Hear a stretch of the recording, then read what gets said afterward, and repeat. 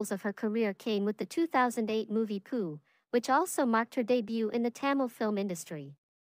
Relatively new in the industry, Parvathy went on to win the Filmfare Award for Best Actress, Tamil and the Vijay Award for Best Debut Actress for her role in the film. In 2017, Parvathy made her Bollywood debut with the Tanuja Chandra film Qarib Qarib single.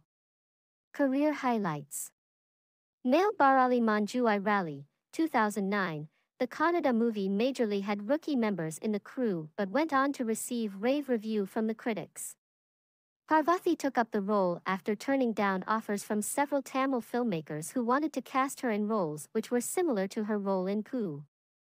A critic commented, Parvathy steals the show, and that, she comes with one of the most absorbing performances.